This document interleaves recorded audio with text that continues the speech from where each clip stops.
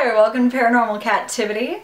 If you are in San Jose, California, you should definitely check out the Winchester Mystery House, which is one of my favorite stories ever and a place that I really truly want to visit at some point in my life because it seems amazing. This house is also known as the Spirit House and from 1884 all the way up till 1922 it was under constant, complete, around the clock, 24-7 construction. The reason being, Sarah Winchester was married to the owner of the Winchester Repeating Arms Company. They lived in Boston and when her husband died, she inherited a lot of money. More than 20 and a half million dollars. That's like 1800s money. That's a crazy amount of money for nowadays scale. This gave her approximately a daily income of $1,000 a day, which in 2013 that was equivalent of 23 $1,000 a day as her budget. Sometime after her husband's death, a Boston medium talked to her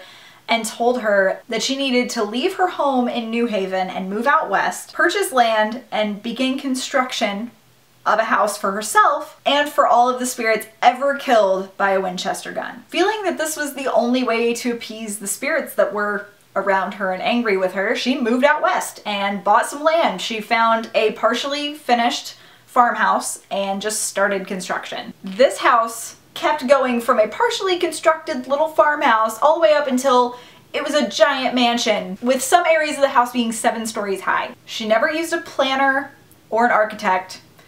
Instead what she did was she did what she felt the spirits wanted. She built doors and stairs to nowhere. She had terrible arthritis so she had stairways that went up all seven stories with the stairs only being two inches high so that she could walk up and down them easily. There were columns intentionally placed upside down, some think to confuse some of the spirits or to make sure that they knew different areas of the house better than others. She even had windows looking into internal rooms of the house. Everything that she did, she did to appease the spirits in one way or another. The home was built on a floating foundation, which thankfully saved a good portion of the house whenever there was a giant earthquake in 1906.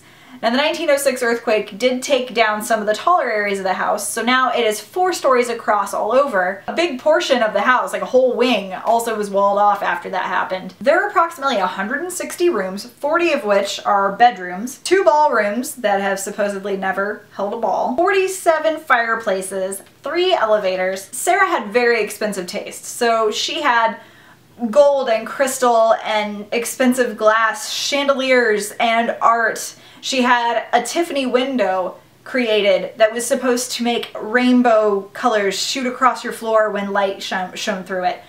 But she put it on one of the insides of one of the rooms that's not an external room, so it never actually got to shine the light of the sun through it. She had a fascination with spiderwebs and the number 13 and had spiritual significance to both of those. So you'll see that as a repeating theme throughout the house and the grounds. When she did decorate the house, one thing that is kind of peculiar is she only allowed three mirrors to be hung in the house because she felt that if they were to look at their own reflection, it would make them vanish. She also felt that the ghosts were ashamed of the fact that they couldn't cast a shadow and therefore there needed to be an extreme amount of light so that there were no shadows in the house. So there were tons of light fixtures, candlelight, lots of different light sources so that there were no shadows to upset the spirits. Most of her evenings were spent in her seance room.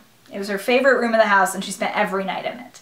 She had 13 hooks on the wall of the seance room, which supposedly held 13 different color robes that she used whenever she would communicate with spirits. At the time of her death, they ended up having her only heir go through the house, take whatever she wanted, and the rest of it was auctioned off. The house itself was purchased for quite a lot less than what the house was built for, and was open to the public for tours pretty soon after that. It is still open for tours. They do all kinds. I will definitely put below the website. There are even tours that you can do digitally from your own home. So if you aren't able to travel, or if you have an issue where you wouldn't be able to actually explore the home, you'd be able to do that online as well. There's flashlight tours and all kinds of different things. They do special things for the different holidays throughout the year. It seems like kind of a creepy, magical place and I would love to visit it. So if any of you have ever been to the Winchester House, please tell me about it. If you plan on going, please share with me what you see and experience because it just seems like such an amazing place. Thank you so much for watching this video. Have a wonderful rest of your day or night or week or whatever. And I will talk to you again very soon. I love you guys.